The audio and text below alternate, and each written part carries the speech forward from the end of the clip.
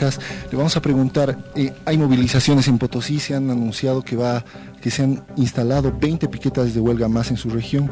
¿Ustedes van a seguir adelante?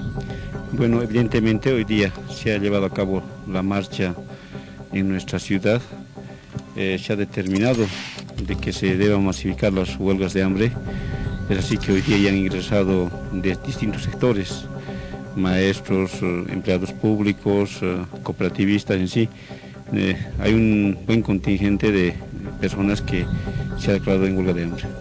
Y le vamos a preguntar también al señor David Cortés, diputado asambleísta plurinacional, le vamos a preguntar, eh, se han instalado los 20 piquetes, ustedes van a continuar con las medidas de presión. No ha tenido la oportunidad de escuchar el, discurso del presidente, pero según lo que comentaba extra cámaras, eh, no ha sido conciliador con Potosí.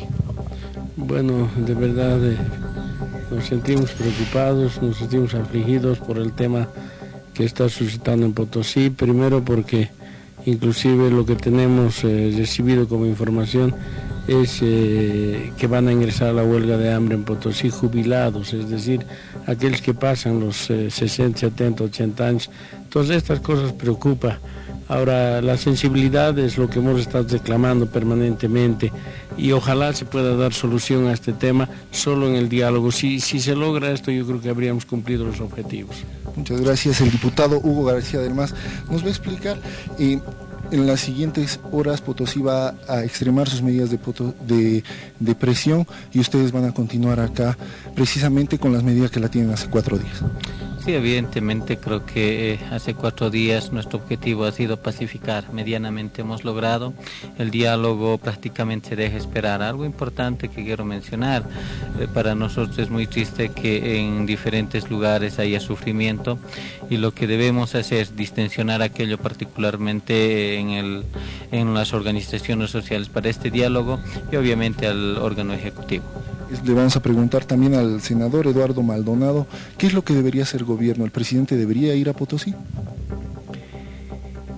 Hemos llegado a un momento crucial del conflicto. La gente en Potosí está sufriendo. Y está sufriendo porque hay desabastecimiento popular, hay carencia de alimentos, el agua también está escaseando, eh, la gente está sufriendo en los piquetes, de, los bloqueos, en las, en las caritas de acceso a la ciudad. Los jubilados están por entrar a huelga de hambre, se va a masificar la huelga de hambre, los residentes potosinos están sintonizando también esta solidaridad en distintos lugares del país. En verdad, yo creo que hemos llegado a un momento crucial en el cual apelamos a la sensibilidad del presidente. Muchísimas gracias.